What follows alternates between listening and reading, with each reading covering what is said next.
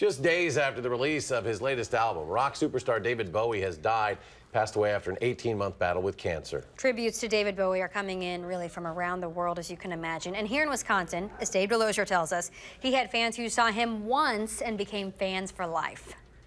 Ground control to Major Tom. It is a career that spanned nearly 50 years,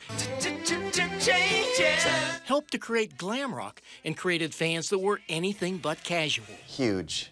Absolutely. Chris Kammer remembers the first time he saw David Bowie. It was October 11, 1974, at the then Dane County Coliseum. It was clear that Bowie was different from other performers. It was like, kind of like when I went to go see Elvis. And you just know here is somebody who is legendary. Rock legend that drew fans like Chris Kammer back time and time again. He would travel to Bowie concerts, seven of them, even going to a David Bowie fan club members only show in New York. The Bowie fans would come out to the shows dressed like Bowie. And, and whatever period of his career they liked the best. So some were looking like Aladdin Sane, some were looking like Ziggy Stardust. It ran the gamut.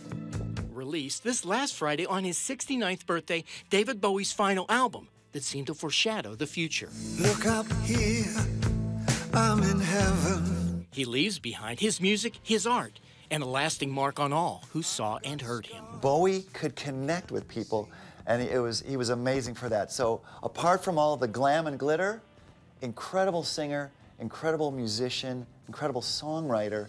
Look up here, man. Uh, he will be sorely missed. In Madison, this is Dave Delozier, WISC News 3.